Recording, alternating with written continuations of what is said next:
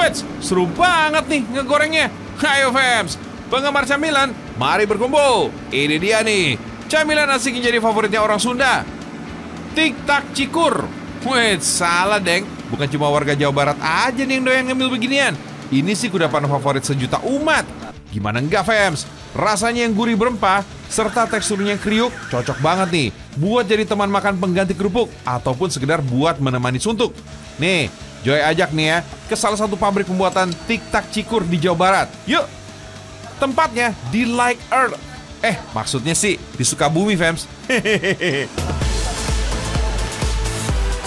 Camilan dari Tanah Sunda ini memang sekilas nampak keras, fans. Padahal kalau digigit renyah di luar, lembutnya di dalam. Alias gak akan bikin gigi keropos kok. Justru sensasi garingnya itu pas banget buat disantap bareng bakso atau sajian berkuah lainnya. Kalau di Jawa Barat, tiktak cikur ini paling sering disajikan dengan bakso aci. Iya, bakso kenyal-kenyal ini pastinya bakal terasa makin nikmat ya kalau dinikmati bersama kriuknya tiktak cikur. Apalagi, rasa segar dari cikur ini menambah kelezatan kuah aci pedas gurih. Wih, mantap. Aduh, nenggelis. Aa Joy jadi kabita alias ngiler banget eh ngeliatnya. Seru banget sih. oh iya, Fems.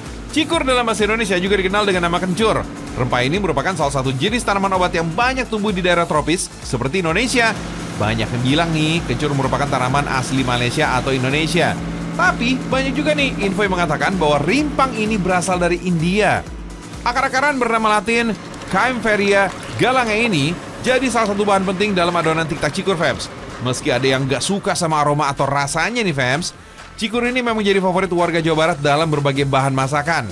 Selain tiktak, makanan lain yang sering menggunakan kencur dalam jumlah banyak pada makanan Sunda adalah nasi cikur ataupun sambal cikur.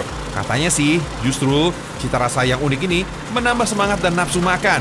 Gak heran fans, kencur ini nggak cuma sering digunakan sebagai bumbu dalam masakan, tapi juga sebagai bahan dasar dalam pembuatan jamu. Contohnya, beras kencur yang bermanfaat untuk meningkatkan nafsu makan.